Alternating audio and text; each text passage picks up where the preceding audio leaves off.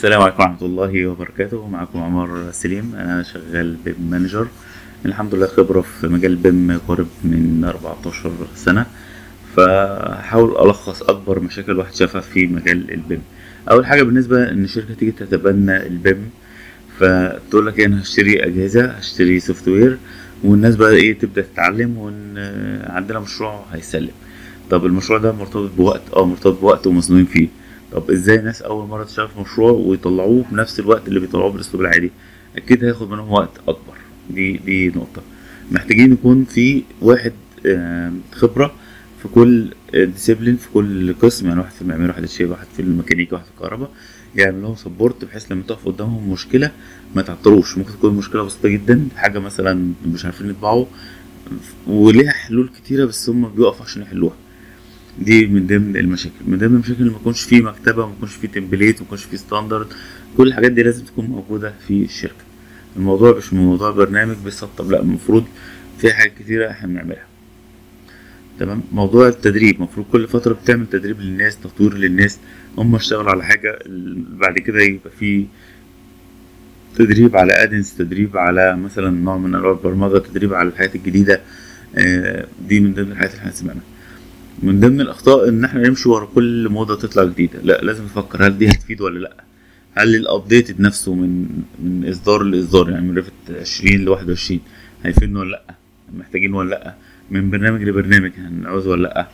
طيب من ضمن الأخطاء برضو ال over modeling إن إحنا ننمذج زيادة عن اللزوم وده يعتبر waste تقول لي ده إحنا بنعمل أفضل مش مطلوب منك. أنت مثلا بتسلم دلوقتي ال ودي 100 فممكن تقعد تخش في تفاصيل وتقول هسلمه ه- هخلصه على 200 أيوه بس اسلمه دي 100 ممكن دي يغير لك حاجة تدي لك كل اللي انت عملته. لا انت ما دمت بتسلم 100 تبقى تسلم 100 تسلم 200 تسلم 200 مفيش حاجة اسمها 250 طب أنا هقرب من 300 التزم بالتسليمة عشان ما تضيعش الوقت لأن ممكن الحاجات دي كلها يحصل فيها تعديل. ده نوع من أنواع الويست. لو أنت شغال ب lean management أو بإدارة رشيقة هتلاقي إن ده إهدار الوقت. طيب. من ضمن الأخطاء برضو التجاهل ال I اللي في النص building information management المعلومات دي مهمة جدا. المعلومات دي تخليك تسيطر على المشروع. بتعمل شكل حلو بس من غير معلومات يبقى ده مش يبقى بعد اذنك ما تقولش ده BIM لو أنت بترسم حيطة لازم تدخل كل المعلومات اللي تساعدني على اتخاذ القرار. طيب. من ضمن الأخطاء برضو إن ال hardware يكون ضعيف. الأجهزة ال PC personal computer مش صالحة إن إحنا نشتغل عليها. لازم لا إما gamer لا إما workstation لازم أجهزة تستحمل الشغل. أهم حاجة بقى القنبلة الكبيرة إن إحنا نبقى شغالين ومش متفقين الشغل هيبقى عامل إزاي. نبقى مش عاملين BIM execution plan مش عارفين المالك عايز إيه. ال EIR employer information ال EIR employer information requirement هو عايز إيه؟ طب إحنا في الآخر هنسلم إيه؟ لو إحنا مش عارفين الكلام دوت يبقى ممكن نقعد نضيع. ممكن هو عايز مركز على الحصر مركز على ال 4D مركز على ال sustainability إحنا مش فاهمين هو عايز إيه وإحنا شغالين في مجال وهو شغال في مجال تاني خالص. فالحاجات دي بتخلي مفيش تسليم مشروع. مش هنسلم مشروع غير لما نكون متفقين. كأن الناس قالت لك هنلعب كورة مع بعض فين الجون؟ مفيش جون. هنلعب بس كده هنشوط لبعض وخلاص. أيوه ما هو مين اللي هيفوز في الآخر؟ لازم نكون متفقين على حاجة زي كده. فلو مفيش اتفاق على التسليمة ممكن تقعد سنين وانت عمال تبعت ويقول لك لا مش هي دي اللي أنا عايزها لا ده هي دي اللي عايزها مش هو ده اللي في دماغي طب أنا أعرف اللي في دماغه إيه؟ كل الحاجات دي لازم تكون متفقين عليها.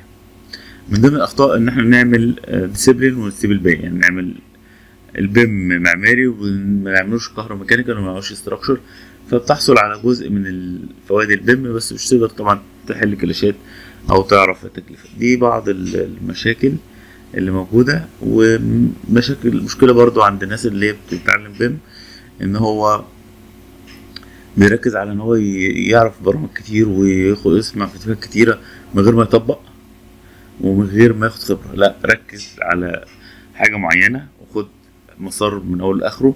مثلا أنا هتعلم ال Revit تقعد تتعلم ال Revit ما فيه الكفايه تشتغل كذا مشروع. لو اشتغلت كذا مشروع وحليت المشاكل الموجودة أحسن من إن أنت تقعد تتفرج على الفيديوهات وخلاص.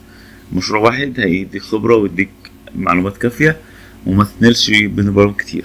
بالعكس خد فكرة بس كده عامة عن كل البرامج آه، المقارنة بينهم اللي هيفيدك آه، هتعرف إيه عن الأهم. ممكن حتى تاخد فكرة من خلال مثلا إن أنت بتبص على الجرايد وتشوف أنهي الوظيفة المهمة أو LinkedIn ال- أنهي المهم أكتر أنهي البرنامج الناس مهتمة بيه. من خلال إن أنت بتعمل search وتشوف عدد الوظائف المطلوبة في المجال دوت أنهي الأكتر. تمام؟